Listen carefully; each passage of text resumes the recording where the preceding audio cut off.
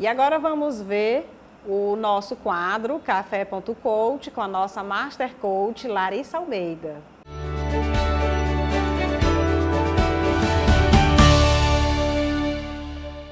Olá, amigas empreendedoras! Vamos começar mais um Café.coaching e hoje vamos falar de um tema bastante abordado dentro do processo de coaching que é a autossabotagem.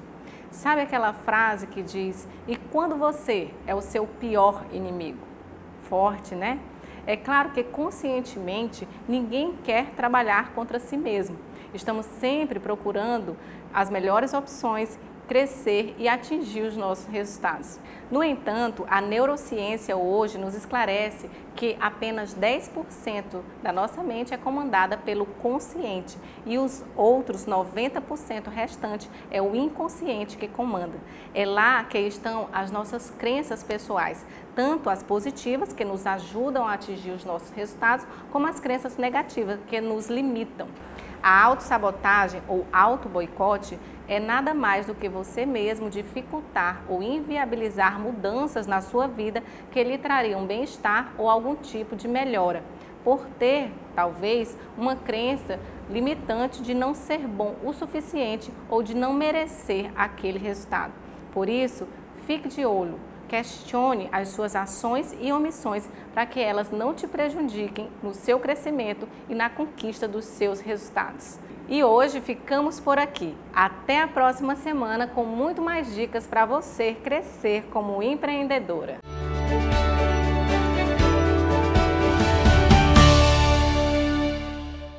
Eliette, vamos voltar para esse ponto que é o ponto crucial do crescimento da joalheria brilhante, né? Os funcionários sim, como eu já te via falando, eu tenho muita sorte. O meu gerente da loja de Picos tem 25 anos que está, que está conosco. É meu primo irmão, o Augustinho Rocha, a quem eu devo muita gratidão por ele ficar tomando de conta da empresa e eu poder viajar com meu marido, deixar as crianças em casa. Também tive a sorte de ter uma cunhada que pôde acompanhar eles na educação é, e na escola e a gente praticamente morava na estrada. Então o comércio foi crescendo de uma certa forma que não tinha mais como a gente estar. Tá. Piauí, Ceará, Maranhão, Pernambuco, tinha que ir Rio, São Paulo, Belo Horizonte, Feira de Joias.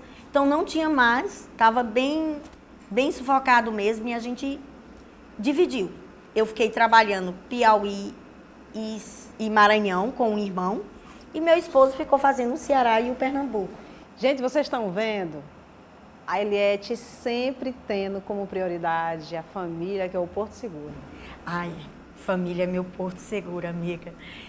Então, quando é, meu irmão passou a viajar comigo, por eu ser mulher, meu esposo tinha a preocupação de viajar só, mas eu percebi que mesmo dividindo as regiões, o casamento estava difícil, porque a gente estava se vendo muito difícil. E aí eu cheguei e falei mais uma vez, amor, casamento. Então a gente começou a colocar representante. Aí ele continuou viajando o Ceará e o Pernambuco, colocamos representante no Piauí e no Maranhão, e eu fiquei mais nas lojas. E em 2000 surgiu mais uma loja que foi a Brilho e Cia. A Brilho e Companhia é uma empresa que a gente pensava, sentiu essa necessidade até como a gente fornecia joia para revenda, a gente sentia que as nossas clientes tinham necessidade de uma etiqueta, de uma embalagem, de um medidor de anel, de um monstruário, como também Teresina tinha, tem muitas joalherias, mas eu não conhecia nenhuma loja específica nisso em embalagens. Eliette, vamos ao ponto crucial. Segredo do sucesso. Humildade. Que lindo. Humildade, querida. Humildade, simplicidade, é, transparência, porque nesse segmento de joia você tem que ter credibilidade. E para você ter credibilidade, você precisa ter transparência. Eu cheguei numa cliente do Pernambuco que ela disse, aliás, chegou uma, uma outra representante e disse assim, Tereza, minha joia é mais barata, é mais bonita, por que, que você só compra Eliette? Ela disse, porque eu só gosto de comprar Eliette. Aí eu digo, mas por que, que você disse isso? Ela disse, porque eu tenho confiança. Nossa, que bacana. Isso. Eliette, eu vou falar uma coisa para você.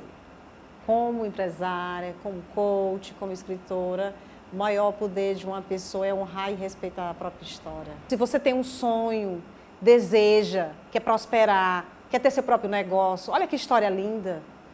Parabéns, Eliette, parabéns. Você realmente é uma empreendedora de alta performance. Ô, querida, muito obrigado. E o que eu tenho a dizer para todas vocês, querer, poder, conseguir. Deus nos fez perfeita, então podemos trabalhar com honestidade, com determinação, com foco, a gente chega aonde a gente quer. Basta ver que dinheiro não é tudo. Dinheiro é consequência do trabalho. Ele vem. Basta trabalhar direitinho que ele vem. Obrigada, Liege, pela sua participação. E na próxima semana teremos mais uma empreendedora de alta performance.